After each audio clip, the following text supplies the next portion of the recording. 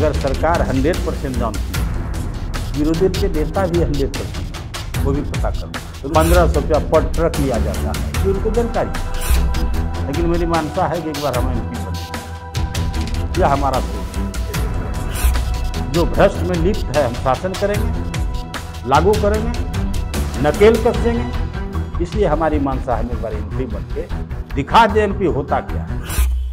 भागलपुर के गोपालपुर से जदयू विधायक गोपाल मंडल अक्सर अपने बयानों से सुर्खियों में रहते हैं। देखिए, एक बार फिर उन्होंने बड़ा बयान दिया है। अपने सांसद अजय मंडल के खिलाफ उन्होंने मोर्चा खोला है। उन्होंने कहा है कि वो सांसद बनना चाहते हैं, क्योंकि जनता वर्तमान सांसद से नाराज़ चल रही है। जब भी वो क्षेत्र में जाते हैं तो लोग उनसे पूछते हैं कि आपके सांसद साहब है कहाँ? कहीं नज़र नहीं आते हैं। साथ ही उन्होंने प्रेस को संबोधित करते कहा है कि लगातार जनता में नाराज़गी बढ़ती जा रही है और आला कमान का जो फैसला होगा, उस पर खरा उतरने का काम गोपाल मंडल करेंगे। क्या कुछ कह रहे हैं प्रेस कॉन्फ्रेंस के दौरान गोपाल मंडल? हम आपको वो सुनाते हैं। गठबंधन ज़्यादा दिन तक चलने वाला नहीं हंड्रेड परसेंट गठबंधन चलेगा जितना दिन तक है 2024 तक। चौबीस। चौबीस पच्चीस। चौबीस पच्चीस। पच्चीस तक ये विधानसभा चलेगी। एमपी में भी साथ ही लड़िएगा सर। अब एमपी तो लड़ना ही है। अगर हमको आला कमान लड़ने का आदेश देते हैं तो लड़ेंगे नहीं तो जिसको सिम्बॉल मिलेगा उसका हम चुनाव लड़ेंगे। लड़ते हैं सब दिन लेकिन मेरी मानसा है कि एक बार हम एमपी बने यह हमारा सोच है। इसके लिए सर आला कमान का निर्देश भी मिला है पहले भी आप बोल चुके हाँ। हाँ मिल गया है। देखिए बात है कि हम तो दुख प्रकट करते हैं इसलिए जहाँ भी जो एमएलए है सिर्फ़ कुर्सी से मतलब रखता है, पब्लिक से मतलब ही नहीं रखता है। मैं विरोध नहीं कर रहा हूँ। कोई मतलब नहीं। जैसे हम भिड़े रहते हैं, कल देखिए हम जाके अपने कार्यकर्ता का जो झाड़ू कार्यकर्ता था, मालो मिशर उनका पाँच छह घंटा बैठ के हम खेत जोतवा दिए ज़रूरत पड़ता है कार्यकर्ता के लिए, गोली बारूद लेके उतर जाते हैं। तो काम ये ना हुआ। सिर्फ़ कुर्सी बचे। इससे होता है, ये कहीं पर है, ये नहीं है, हम नहीं एमएलए थे। तो यहाँ क्या एमएलए था? नहीं था, वो पब्लिक का काम ही नहीं करता था। कहीं भी एमएलए है, पब्लिक का काम ही नहीं करता है पब्लिक को से भेंट करने का फुर्सत नहीं है। हम तो पब्लिक के फ्रेम दौड़े रहते हैं। इसलिए सोचता, अगर एम एम बन जाएँगे, उनको कहेंगे, अपना निधि वितरण करो, बाकी सारा काम हम करेंगे। इससे होगा, प्रशासनिक लोग भी थोड़ा स्थिर हो जाएँगे जो भ्रष्ट में लिप्त है हम शासन करेंगे लागू करेंगे नकेल कसेंगे। इसलिए हमारी मानसा हम एक बार एमपी बन के दिखा दे एमपी होता क्या है।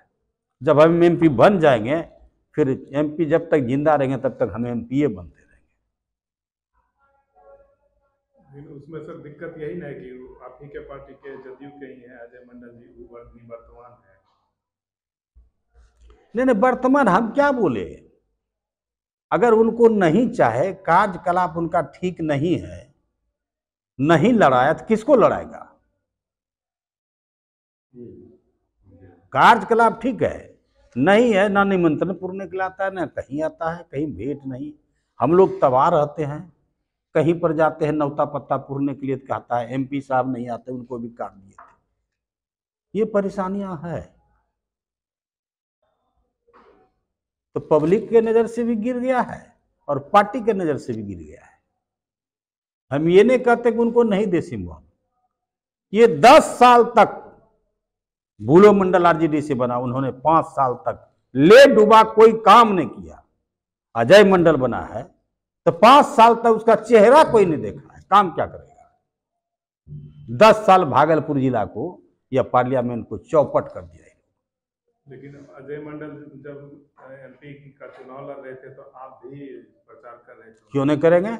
हम एक लाख वोट दिए हैं अनुमंडल से। अभी आप कह रहे हैं। और अभियो अजय मंडल को अगर पार्टी टिकट देगी तो उसका चुनाव हम लड़ेंगे। देखिए हम सिर्फ़ विधायक नहीं हम नेता भी हैं। अब पूरे बिहार का हम राजनीति करते हैं। कोनो गोपालपुर का नहीं। तो मन में इच्छा है सांसद बनने की। गोपालपुर से विधायक है, गोपाल मंडल लगातार अपनी बात को रखते हैं। आपको बता दें, हाल के दिनों में महागठबंधन की सरकार बनी है। ऐसे में लगातार चर्चा हो रही है 2024 को लेकर। तमाम राजनीतिक दलों के द्वारा तैयारी की जा रही है और भागलपुर सीट को लेकर।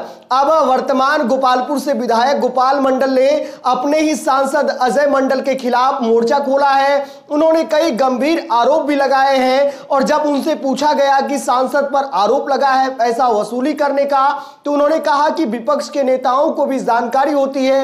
यदि उन्होंने इस तरीके का आरोप लगाया है तो कहीं ना कहीं आरोप सच है। उन्होंने आगे कहा कि ऐसा हम नहीं कह रहे हैं, ये तमाम बातें विपक्ष के नेता कह रहे हैं, लेकिन इन बातों की कहीं ना कहीं हकीकत है। लगातार इस तरह की खबरें जो है भागलपुर से सामने आ रही है, और देखना होगा, गोपाल मंडल ने जिस तरीके से भागलपुर सीट को लेकर दावेदारी पेश कर दी है तो आने वाले समय में 2024 में भागलपुर सीट किसके हाथ जाएगा? क्या जदयू चुनाव लड़ेगी? क्या राजद अपने पाले में इस सीट को लाएगी? देखना बेहद दिलचस्प होगा। बिहार से जुड़ी खबरों के लिए बने रहते बिहार टॉप के साथ। हमारे चैनल को सब्सक्राइब कर ले। धन्यवाद।